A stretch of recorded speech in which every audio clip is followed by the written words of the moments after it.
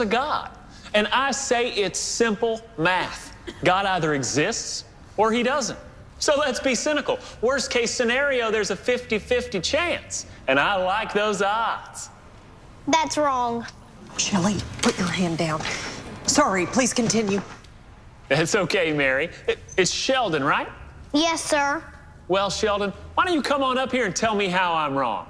No. Okay. Let's give him a hand, everybody. What's happening?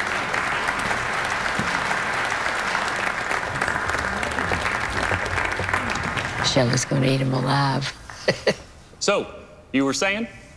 You've confused possibilities with probabilities. According to your analogy, when I go home, I might find a million dollars on my bed or I might not.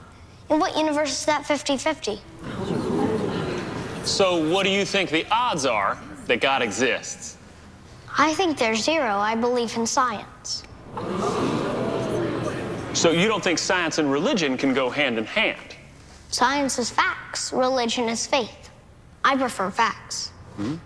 I understand that.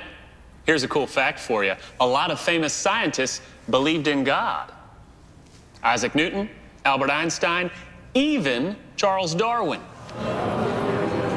So Darwin's right about God and wrong about evolution. Now you're getting it. Let's give it up for Sheldon, everybody. What a good sport. Oh.